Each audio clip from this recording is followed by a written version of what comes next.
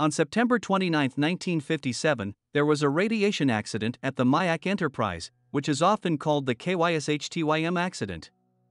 In terms of its scale of contamination, the disaster is second only to Fukushima 1 and the explosion at the Chernobyl nuclear power plant.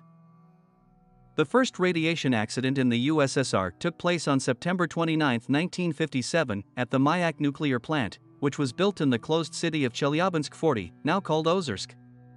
According to studies, the radiation release on the day of the disaster was estimated at 20 million curies.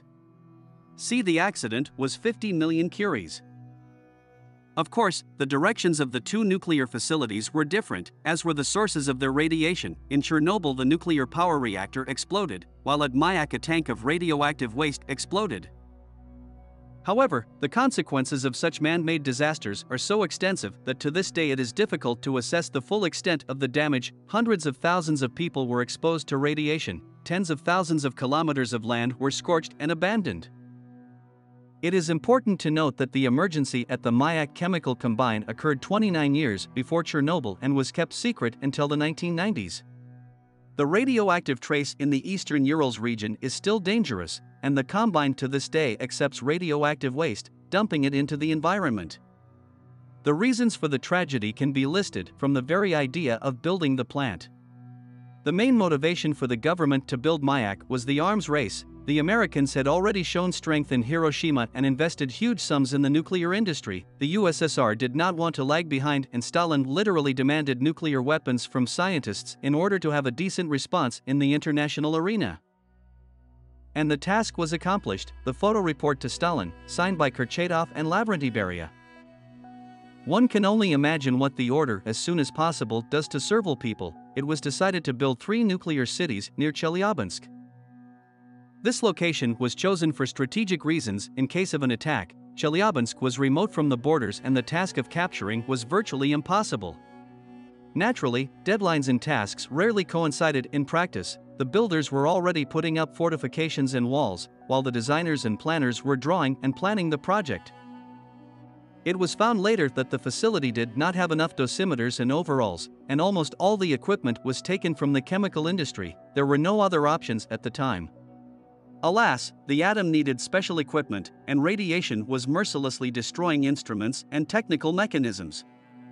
Before the construction of atomic bombs began, it was necessary to create a chemical industry from scratch, raise a whole generation of scientists, and, of course, provide them with a place to work and experiment.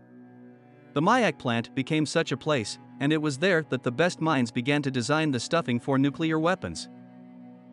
The labor intensive process was primarily aimed at accomplishing a state objective, while concern for the environment, health, and personal safety receded into the background. Not only plutonium and uranium were produced as a result of bomb making, but also a lot of radioactive waste, which at first was simply dumped into the Techa River near the plant.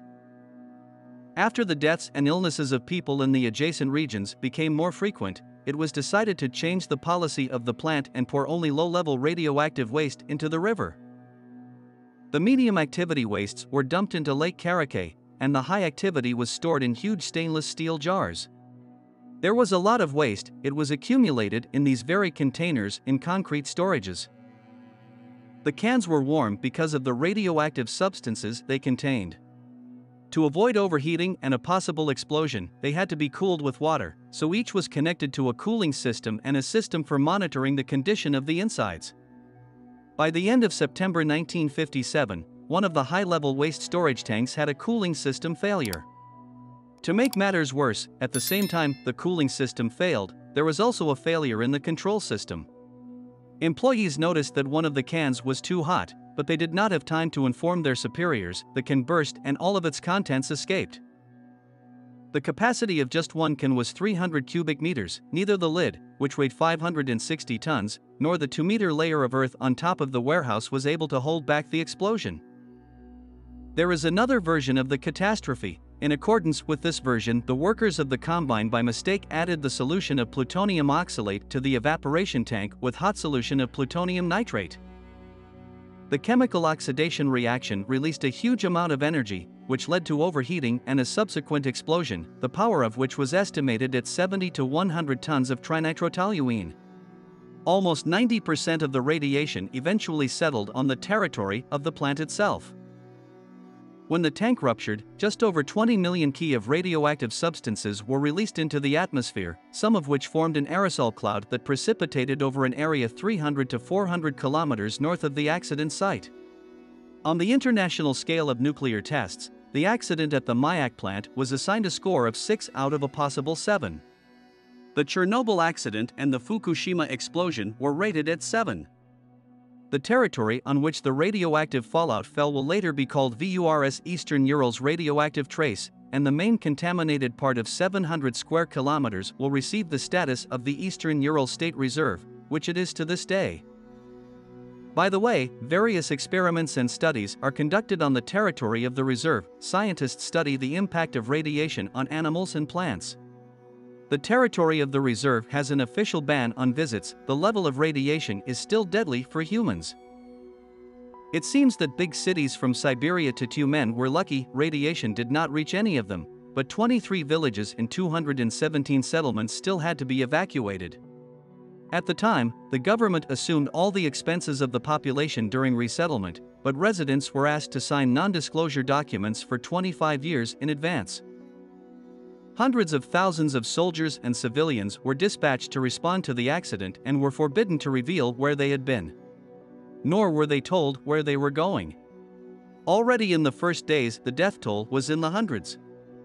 A total of 250,000 liquidators suffered in one way or another during the work at Mayak, and a monument was erected in memory of them in the town of KYSHTYM.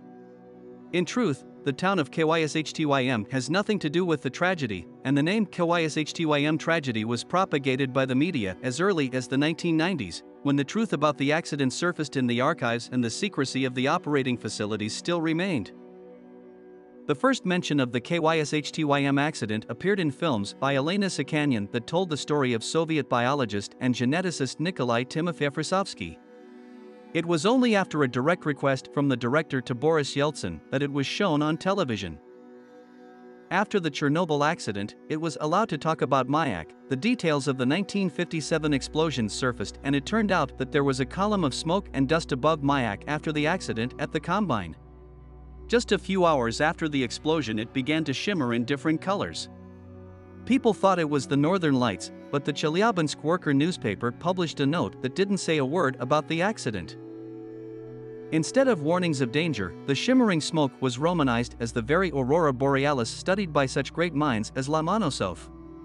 For more than 11 hours a poisonous cloud covered the sky, and a news note summed up polar lights can be observed in the South Urals region in the future.